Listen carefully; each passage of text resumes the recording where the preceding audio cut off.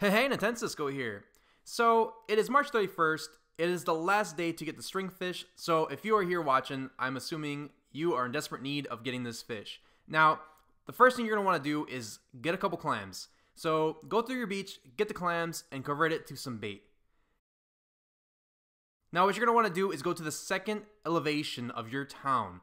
Don't go to the very top where there's ponds and stuff. No, try to keep it to the second elevation go to this area where I'm showing you where there's like a waterfall.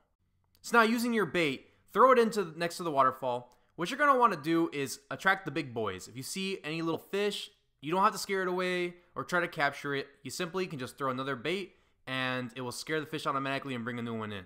You want the big boys.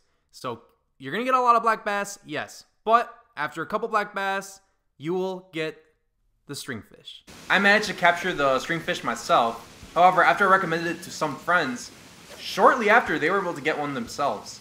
And in fact, we had one friend who took forever to get his stringfish, but the very moment I recommended him where to go and do this exact method, he caught it on stream.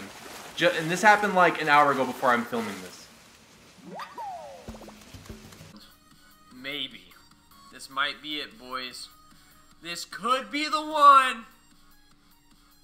Look at my fucking... Look at... Alright. You piece of shit. This could be it.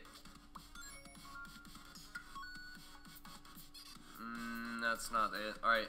I gotta catch this bitch before it runs away. Oh, he bit first one.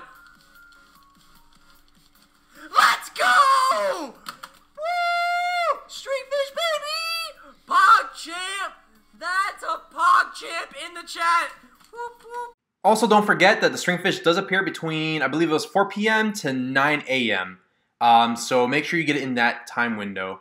Um, but yeah, uh, thank you for watching, guys. I hope you got the stringfish. Let me know in the comments below if you got it or not using this method. Um, I appreciate you guys for watching. Uh, leave a like, subscribe, and uh, let me know if I should do more tutorials. This is my first tutorial, and I would like to do a lot more. Straight to the point and short. So if you guys want more tutorials like this on Animal Crossing or any game, let me know. Thank you.